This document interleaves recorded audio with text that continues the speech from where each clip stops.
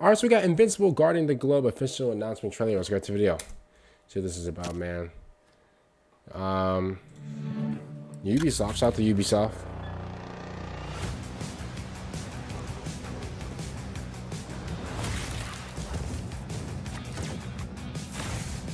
What type of hero is that?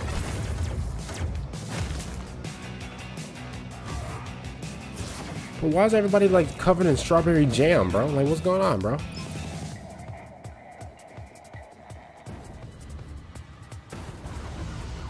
Ooh. My Honda Civic. Oh.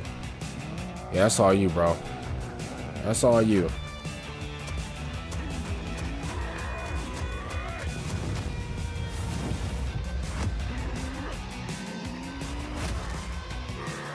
Oh my god.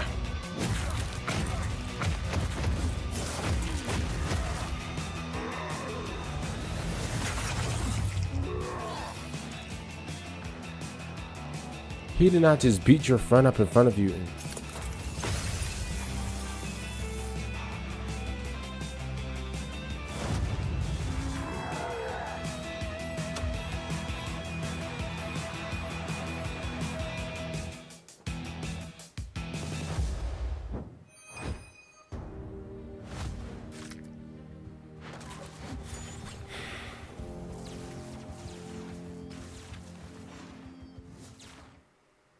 Really, Ubisoft?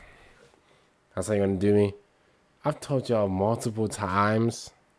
I told, I, listen, I've been duped so much, bro. It's kind of like trailers like this, right? And listen, I'm not a hater, but trailers like this is kind of like getting like out riddled by the Riddler, bro.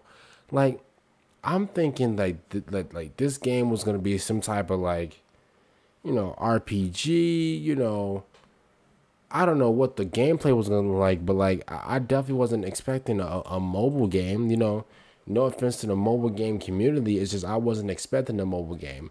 I guess it is what it is, but um, I mean, I've seen so many trailers that have like these cinematic, you know, um, sorry, I've seen so many video games that have you know all these cinematic trailers and stuff like that. I'm thinking, oh man, this game looks absolutely fire, and then they show you, you know, then they show you the Samsung J3 where they have the like no bro.